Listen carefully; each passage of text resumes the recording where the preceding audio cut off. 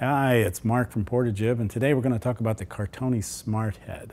I'd like to give you a few tips about how to actually set it up and balance it. It makes a terrific uh, accompaniment to a, a, a, standard Porta-Jib or a Porta-Jib Traveler. Great way to work, but the, it's all about the balance, the, the balance of the jib, the balance of the head. We get that dialed in correctly, it's a very sweet operation. Now this is a little different than uh, some of the other videos where we talked about balancing a traditional fluid head and setting the spring tensions correctly because on an underslung head there are no spring tensions, no spring adjustments. So what we want to do is see what all these knobs and configurations are all about and get this thing balanced. Okay, so where do we begin? First thing we're going to do, of course, is to mount the head onto the jib. And once that's done, we're going to put a corresponding amount of weight on the back so that that stays balanced just enough for the head. We don't worry about the camera at this point. Um, next, what I, what I like to show you is the various controls that we have here, locks and knobs and things. Let me start on this side. First thing we notice that's a little different and odd is we've got little weights on this handle. And what this is about is it's a good idea to balance the handle itself because it's on the same axis of the tilt that the camera is going to be on. And if you change the angle of the handle, it's going to throw that overall balance of the camera off slightly. So the first thing you do is you balance the handle by moving these little weights in and out. So you leave this, the teeth not quite engaged, set the weights so that they balance, then you lock it up. Next on this side, we notice we have two locks here and a big knob here. What this is going to do is move this entire camera support platform up and down depending on the size of the camera you have in terms of how tall it is to make sure it's going to clear through this opening. This you don't adjust very often. It's pretty much always going to stay the same depending on the camera you're using. The most important one though is this one. We have a lock for the tilt and we have our fluid drag setting for the tilt, this little red knob that has four positions. It has a zero, one, two, and three. One, two, and three are fluid drag increments, and zero is what we need for the balance because that just that means there's no fluid drag and all we're going to feel is the actual mechanism itself and we have to find the balance point. So the first thing you do is make sure that this is on the zero setting and not on a one, two, or three.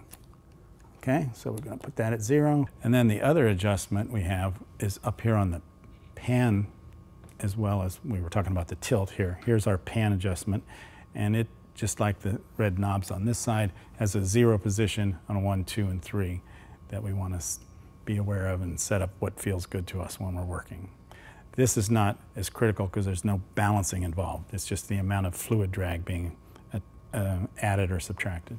So now we're going to put the camera system onto the head and get it balanced. So first thing is I want to rotate this handle so that it's down because otherwise it'll kind of get in our way when we're doing the balancing. Uh, next is we need to be able to support the front of the jib as we add this extra weight. So we're going to, I always use the uh, Porta-Jib case. It makes a nice support but you could use something else if you need to. And just position that like that so that we have a little room to work here. And then we're going to drop our, our camera assembly onto the head. And drop our quick release plate in there. And of course we're way out of balance at this point. So what we want to do is be sure to lock the tilt right here. Okay.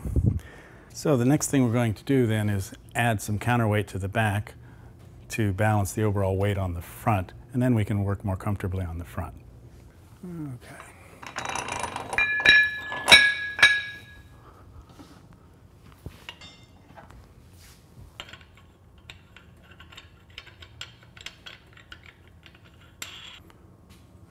Okay, check our balance, adjust our tuning weight. And for uh, those of you who haven't seen our videos on how to do the jib balancing and the vector bar balancing, please uh, consult the other videos for that. We're get back to our Cartoni head. Okay, now here's where we got to really get this thing dialed in. We want to balance it fore and aft this way, and we want to balance it up and down to get the center of gravity of this on the tilt axis. So first we want to see where we are with the um, fore and aft. So we're going to unlock it on the back. Remember, there's this red knob here. And you can see, oh, this is quite front heavy. So we need to back this up a little bit. Now it's not going to be really totally balanced until we get the, the, the height. So but we can tell it feels pretty much the same fore and aft in terms of front heavy, back heavy. So now what we do is we kind of come around to this knob, make sure that this is unlocked and this is unlocked. So what we want to do is just keep adjusting this until when it, it's, when it's balanced, it should just stop at whatever angle you're pointing it at. Okay, so that looks good. So then the next thing we would do is we want to take it off of that zero setting and put in either a one, two, or three fluid drag. But on a jib, you're not going to want the heavy drags. You're going to want to keep it really light so it's easy to just float around on the front. So it's going to be the number one setting for most cameras. So that's just adjusting this to the, to the one position. And now you may find at that point you have to do a little more adjusting on the fore and aft adjustment now that you've got the up and down.